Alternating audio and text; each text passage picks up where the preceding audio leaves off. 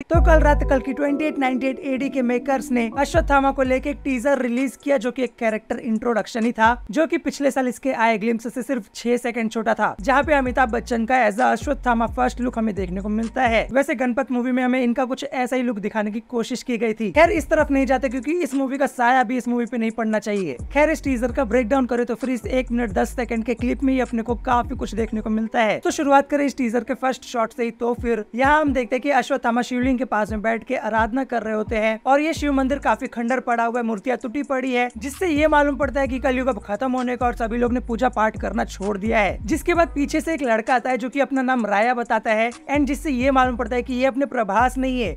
क्योंकि मूवी में प्रभास का नाम भैरवा है। खैर, यहाँ पे आके ये लड़का हिंदी, इंग्लिश और बाकी के चार लैंग्वेजेस में अमिताभ बच्चन के कैरेक्टर अश्वत्थमा से बात करने की कोशिश करता है। तो एक तो ये चीज़ तो हमें ये दर्शाती है की ये मूवी पैन इंडियन लेवल पे बन रही है। बट ये चीज़ हमें एक और चीज़ सिग्निफाई करते है की जब स्टार्टिंग के सीन में बच्चे के दो अलग अलग लैंग्वेजेस में बात करने के बाद भी अश्वत्थामा कोई भी रिएक्ट नहीं करते हैं। जिसके बाद में ये बच्चा बोलता भी है कि, अब किस लैंग्वेज में मैं इनसे बात करूँ? क्योंकि दो लैंग्वेज उसने ऑलरेडी ट्राई कर लिया था। जिसके बाद में वो हर एक पॉसिबल लैंग्वेज में उनसे बात करने की कोशिश करता है। वो भी टोटल छह लैंग्वेजेस में, हिंदी इंग्लिश तमिल, तेलुगु मलयालम, कन्नड़ा। अब किसी मूवी में मल्टीपल लैंग्वेज यूज़ करना इंडिया में शायद से पहली बार हुआ है। ना इसके बाद इस ग्लिम्स या फिर टीजर जो भी से हम कहे, इसमें हमें अश्वत्थामा ये भी बोलते हुए दिखते हैं कि अब मेरे अंतिम युद्ध का समय आ गया है। तो सवाल ये कि उन्हें कैसे मालूम पड़ा कि अब उनके अंतिम युद्ध का समय आ चुका है? सो अगर आप नोटिस करोगे तो फिर इस पूरे ग्लिम्स में अपने को एक चीज़ काफ़ी कंसिस्टेंट दिखाया गया है, जो की है शिवलिंग पे गिरने वाला पानी। बच्चे के ऑलमोस्ट हर एक लाइन के बाद में शिवलिंग पे गिरते हुए पानी पे फोकस किया गया है।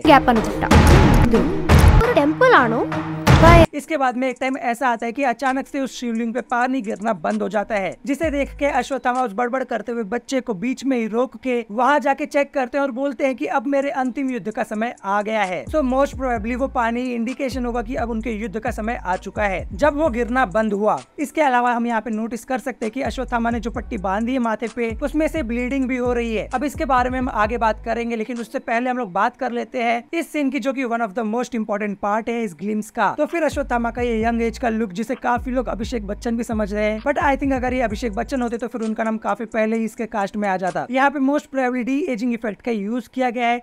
जिसे आपने इसके पहले शाहरुख खान की फ़ैन मूवी में देखा होगा। एनीवेज अश्वत्थामा का ये सीन द्वापर युग में हुए महाभारत के टाइम का है। जब युद्ध लड़ा जा रहा था, आप चेहरे पे चोट के निशान भी देख सकते हो और पीछे ये रथ भी अपने को देखने को मिलता है। इसके अलावा यहाँ पे अपने को अश्वत्थामा के सर पे एक मणि भी देखने को मिलती है। And cut to the next scene अपने को यहाँ पे अश्वत्थामा का बिना मणि का लुक देखने को मिलता है। और साथ में हम यहाँ पे ये भी देख सकते हैं कि उस मणि के जगह पे काफ़ी ज़्यादा घाव है। तो इसी घाव की वजह से इस सीन में जब अश्वत्थामा पट्टी लगाए रहते हैं तो उनके पट्टी पे अपने को ब्लीडिंग देखने को मिलती है। अब ये मणि क्यों निकली या फिर निकाली गई, इसको एक्सप्लेन करने के लिए अपने को महाभारत के टाइम पे जाना पड़ेगा, जहाँ मैं अपने थोड़े बहुत ज्ञान का यूज़ करने वाला हूँ। तो द्वापर युग में महाभारत के दौरान जब अश्वत्थामा के तीर से पांडव और द्रौपदी के बेटे, जो की अभी जन्मा भी नहीं था, उसकी मृत्यु अश्वत्थामा के तीर से द्रौपदी के सोते टाइम पे ही उसके पेट में ही हो जाती है, जिसके परिणाम स्वरूप द्रौपदी एकदम गुस्से में आ जाती है और वो अश्वत्थामा से उसकी मड़ी मांग लेती है, जिसके बाद श्री कृष्ण अश्वत्थामा को श्राप देते हैं कि अब तुम कलयुग के अंत तक बिना मणि के यहाँ वहाँ ऐसे ही भटकते रहोगे, भूख, प्यास, बीमारी बुढ़ापा ये सब तुम्हें लगेगा, लेकिन तुम मरोगे नहीं। और अगर आपको नहीं पता तो फिर इस मणि की पावर सी यही थी कि वो अश्वत्थामा को दुख, दर्द, पीड़ा से एकदम दूर रखता था।